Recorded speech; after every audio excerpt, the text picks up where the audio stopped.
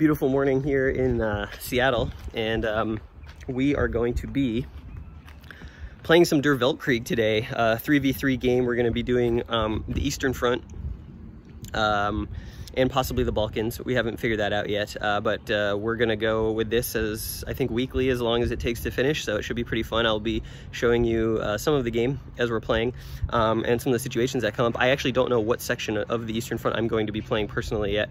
Uh, we're gonna we're gonna figure that out. Um, but as you can see, really great location for this. I'm gonna be somewhere, see, somewhere over in this building over here.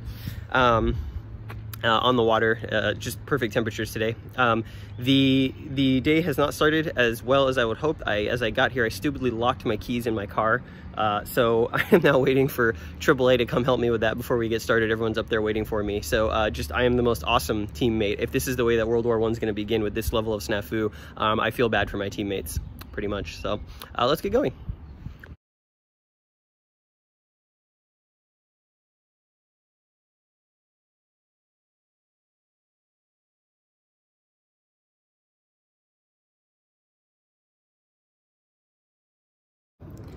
All right, we're an hour in, still haven't started playing, but uh, we fixed the first problem that we started today. The next problem is gonna be how do I uh, defeat the Serbians? Because it looks like I have drawn the Austro-Hungarian front uh, in the south.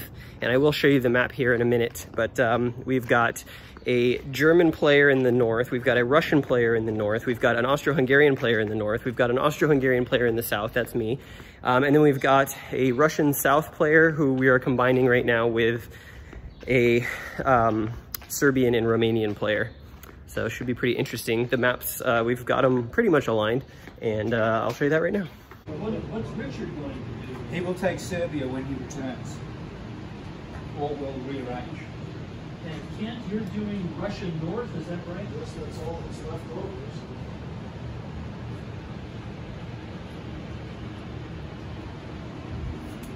Um, and we need to do.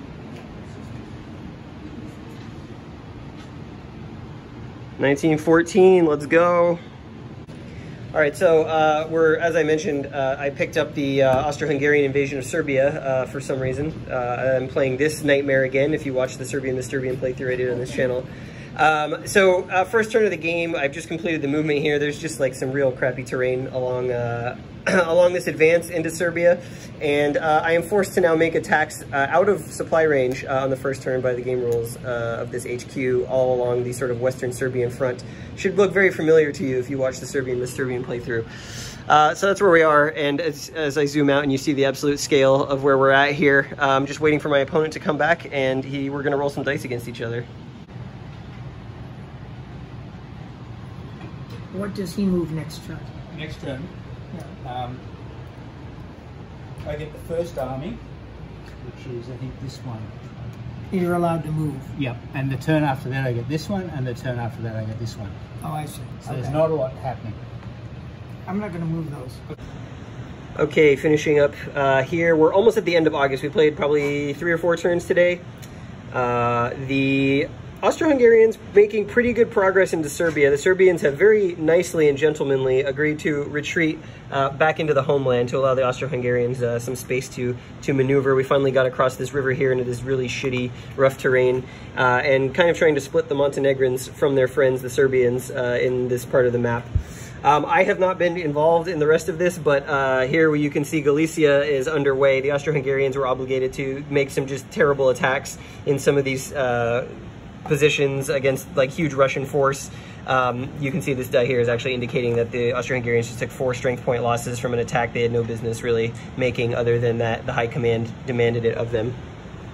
Uh, and then uh, here in uh, around Königsberg, the Russians uh, actually playing pretty conservatively and not really putting a lot of pressure on the Germans up here uh, towards the city. However, down here they are trying to outflank, and the Germans have had to kind of uh, block off this approach on the flank of the Masurian Lakes. So we are going to reconvene in a couple weeks, and um, Actually, in a week. in a week. Excuse me. Thank you.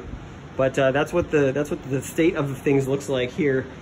pretty epic scale, and we're just getting started.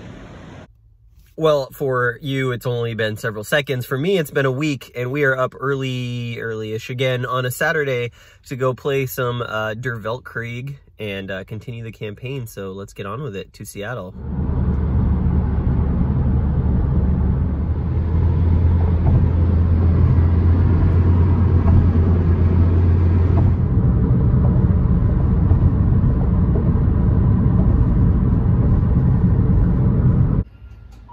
Let's resume some World War One, shall we?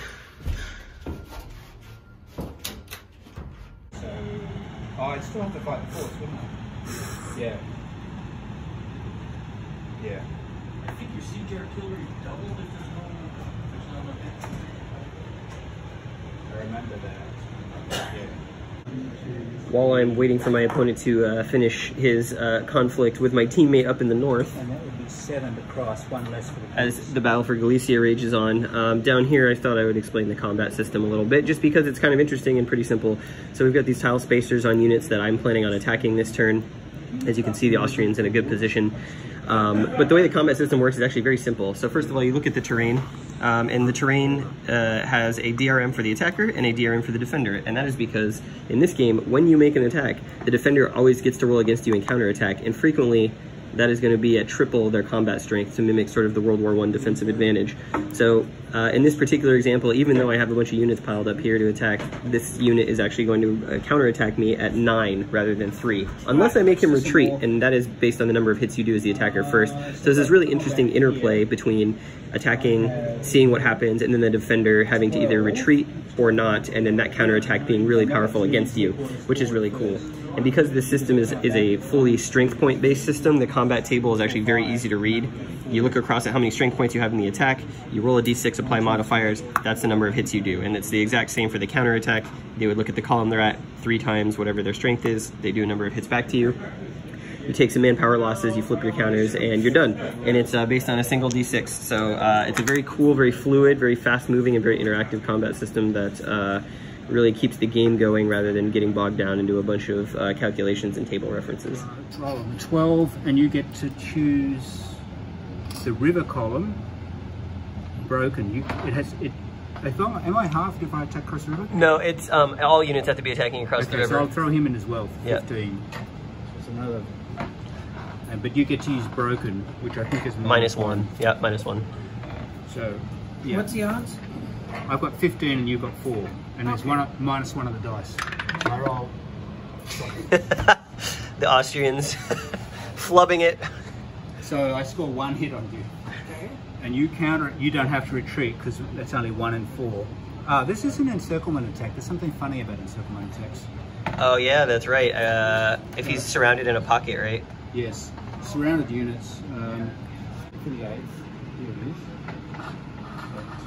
This is the uh, Serbian front right now. Pretty heavy pullback by the Montenegrins. Pretty heavy pullback by the Serbians in the face of uh, the intimidating, Verst-powered Austro-Hungarian army. Um, He's got some bigger stacks here now, so it's going to be harder to make progress at this point, but I'm pretty happy about that. Belgrade's Yeah, the main target right now. And then I roll on the one column and I get plus one. We got some Russians and Austro-Hungarians fighting up there. The, the real benefit that the Austro-Hungarians have is they have not had to send uh, any of the Second Army up to that front uh, because my partner player in the northern front of Austro-Hungary, Austria-Hungary, has not needed them as of yet. Although he's getting a little thin on the defense over there, it sounds like. So uh, this may be the last turn that we've got to uh, really accomplish our objective, which is get into the city.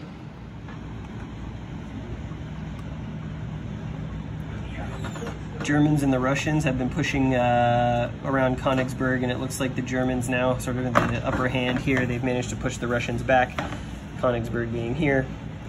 Big stack though. They just had a pretty large combat of the Germans getting back across the river. But we think that the Germans are vulnerable here to the Russian Second Army. Seem to be kind of a thinner line of defense. And Galicia looking a whole lot like Galicia.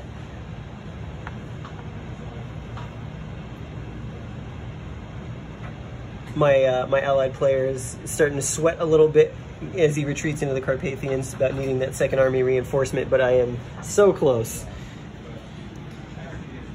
So close. This turn we're going to be attacking into the suburbs of uh, Belgrade. Well, we've done it. We've taken the first urban hex of Belgrade here finally uh, into the early September. Uh, and doing so used all of the Austro-Hungarian supply. So the Serbian counterattack is going to be uh, real interesting over the next couple of turns. Russians getting uh, a bunch of reinforcements now, hopefully to stem the tide. Germans, uh, been some pretty big battles on both sides. Lots of losses, lots of demoralization. Uh, you can see the 10th Army is coming to play here in Warsaw, and the Russians making a push here south of the Masurian Lakes to get to Königsberg the other way. This is what the uh, this is how we're storing the game between sessions. In case you're curious about that kind of thing, we have these wonderful racks. There you can see Serbia. There you can see the the um, Tannenberg front, and they are all stored in these massive racks where we're playing the game. Very nice. Lots of other games underway as well that are being stored here. Okay, well, that's the conclusion of our session today. I really like this system. I know I've said that before in many videos, but uh, it's super playable. Um, it really gets you into the decision space without a ton of overhead, and um, you know, it's been a little bit slow going, and you'd expect that from World War One. But um, uh, I think it's been a really uh, good way to spend some time. I'll see you later. I'll see you in a couple weeks. Um, and uh, yeah, so um, we finished the second session. We've gone a month into the game, and uh, I feel like the uh, Central Powers is doing quite well. And as we all know, uh, World War One ended in at the end of 1914. Everyone was home by Christmas with the Central Powers victory, right? Yeah.